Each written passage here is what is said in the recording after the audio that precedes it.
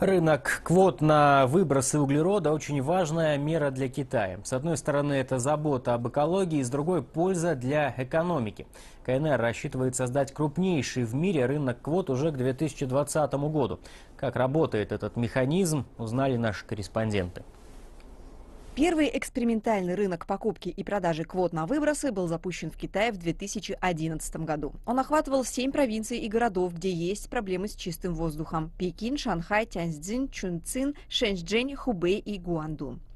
В 2017 году Китай планирует запустить общенациональный рынок торговли выбросами углерода. Система проста. У каждого предприятия есть лимит на выброс. Если завод хочет выпустить больше продукции и таким образом сильнее загрязнить воздух, он может выкупить квоты на выбросы у другого предприятия, которое больше заботится о системах очистки и уложилось в лимит.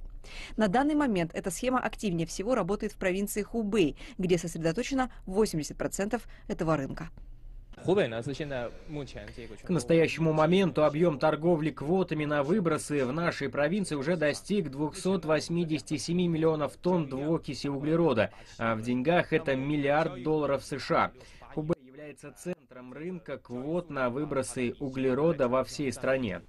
Практика показывает, механизм торговли квотами на выбросы углерода дает заметные результаты для эффективного контроля выбросов углекислого газа и оптимизации производства. По словам экспертов, те 2000 предприятий, которые помещены на экспериментальную площадку, показали снижение уровня загрязнения. По плану китайского правительства к 2030 году парниковые выбросы должны уменьшиться на 60% относительно 2005 года. Раньше для улучшения ситуации прибегали исключительно к административным мерам, но штрафы не работают, а вот рыночный механизм отлично подходит. Тот, кто не поскупился и установил дополнительные фильтры или перешел на более экологически чистое производство, получает дополнительный капитал для развития своего предприятия. В конце концов, это может стать отличным источником дохода.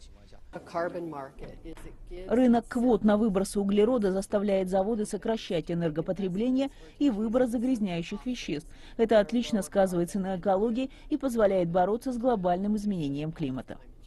После отлаживания системы на тестовой площадке Китай готов внедрить ее во всей стране. К 2020 году КНР намерена создать крупнейший в мире рынок квот на выбросы углерода. Он будет охватывать 8 секторов экономики, в том числе производство электроэнергии, черную и цветную металлургию, производство строительных материалов, химическую отрасль, авиацию и другие. Сначала мы определим предельно допустимую норму выбросов для восьми секторов экономики. Важно соблюсти баланс, чтобы производители смогли и развиваться, и соблюдать лимиты. Надеемся, что все больше заводов благодаря этому будут переходить на чистую энергию, например, солнечную. Создание рынка квот на выбросы является одной из мер Китая по использованию рыночного механизма для противодействия климатическим изменениям. КНР готова активнее взаимодействовать с международным сообществом по этому вопросу и таким образом заботиться о процветании своей страны. Василий Лукашевич, Цичуна, CCTV.